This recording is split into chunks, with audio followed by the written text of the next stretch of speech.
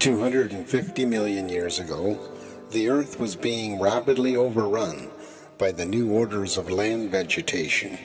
Heretofore, few plants grew on land except about the water's edge.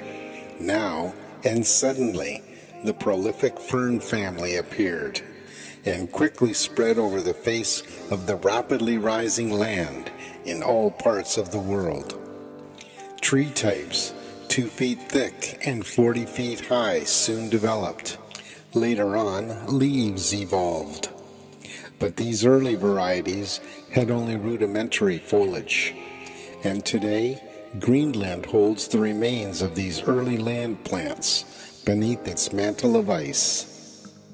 The Urantia Book, paper 59, section 4, paragraph 13.